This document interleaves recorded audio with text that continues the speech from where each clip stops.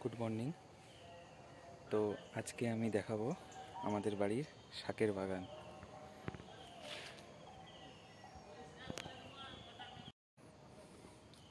এই হচ্ছে পিড়িং শাকের বাগান, আমরা পিড়িং শাক বলি। এখন ফুল ফুটে গেছে, আস্তে আস্তে এখন আর এটা খাওয়া যাবে না শক্ত হয়ে গেছে। তারই মধ্যে বেছে বেছে তুলে খাওয়া হবে। এখানে আগে কলমি শাকের বাগান ছিল তবে মাটিটা খারাপ হওয়ার জন্য, বৃষ্টির জন্য এখনও বীজ ফেলানো হয়নি। পরে এখানে কলমি শাকের বীজ ফেলাবো। এটাকে আমরা বলি নোটে শাক বা মারিচ শাক। কলসি শাকও বলে অনেকে। পাশে এখানে ওই ওলকপির জন্য বীজ তোলা করা হয়েছে। এইটা হচ্ছে লাল শাক বলে, লাল নোটে শাক। আজকে এইটা তোলা হবে বাড়িতে খাওয়া হবে।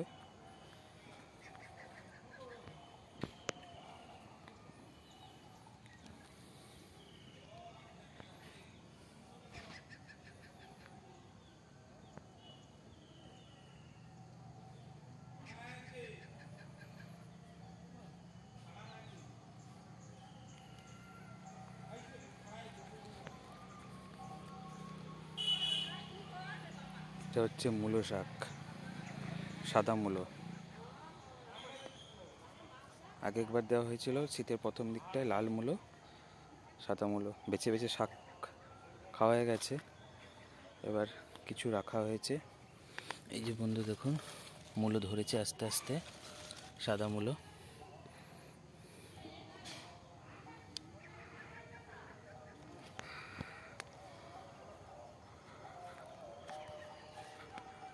এটা হচ্ছে পালং শাক।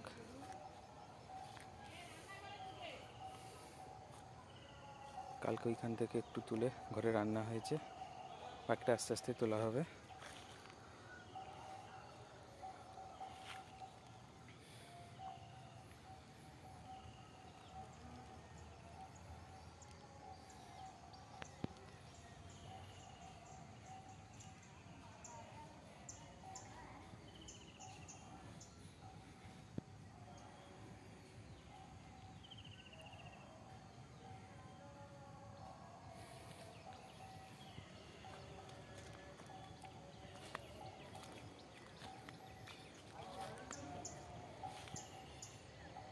আর এই বাঁশের ওপরে টাঙানো থাকে, যখন শাকতলা ফেলানো হয়, বৃষ্টি এসে গেলে সেই সময় শাকগুলো নষ্ট হয়ে যায়। তো বৃষ্টি থেকে বাঁচানোর জন্য আমরা প্লাস্টিক দিয়ে ঢেকে দিই, যাতে বীজগুলো নয় নষ্ট হয়। বড় গেলে দরকার পড়ে না, বৃষ্টিতেই হয়ে যায়। তো পিছন বলল আজকে মূলো শাক হবে। তো মূলো শাকগুলো বুড়ো হয়ে যাচ্ছে, তো এখন মূলো শাকগুলো তুলে নেই।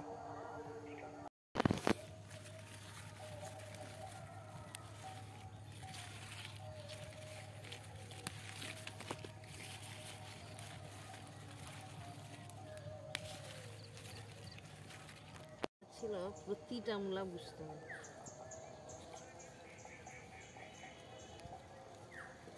এটা এমন ছিল, প্রতিটা মূলা তোলা হয়েছে। আবার বাকিটা কাল একসঙ্গে বেশি তুললে শুধু নষ্ট হবে, অত খাওয়াও যায় না। তো বন্ধু দেখলেন, আমাদের বাড়ির শাকের বাগান। পরের দিন আস্তে আস্তে বাড়ির অন্যান্য সবজি বাগানগুলো দেখাবো। আজকের জন্য এইটুকু। সবাই ভালো থাকবেন। আমার চ্যানেলটিকে সাবস্ক্রাইব লাইক ও কমেন্ট করবেন।